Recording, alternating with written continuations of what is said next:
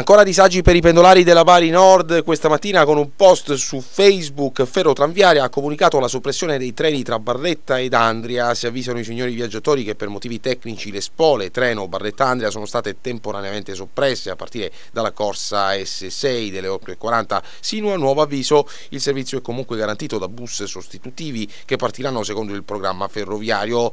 Questo è quanto comunicato via Facebook. Non sono mancati naturalmente i commenti e i disagi di quanti non hanno appreso la notizia in tempo utile restando ad attendere il treno in stazione per poi perdere anche il pullman. Inoltre lamentano i pendolari, la fermata del bus di Barletta è priva di pensilina ed in giornate come queste, con la pioggia ed il vento, si va, scrivono, di male in peggio.